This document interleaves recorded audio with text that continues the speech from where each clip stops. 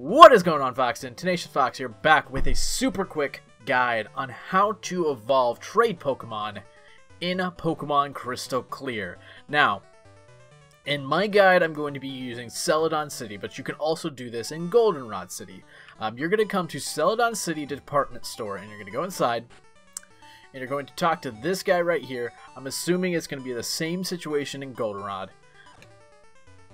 He, see, I'm the trade back guy. If you have a Pokemon that evolves through trading, I can help you out.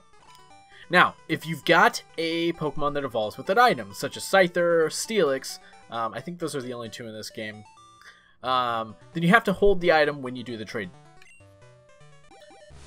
But here, see? He's taking my Kadabra, and he's going to uh, trade it.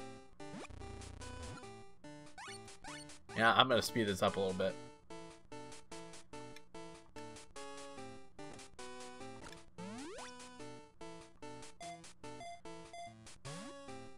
Then he sends us sends it to his back. And that's it. Now our Kadabra's going to evolve. There we go. And that's all you guys got got to do.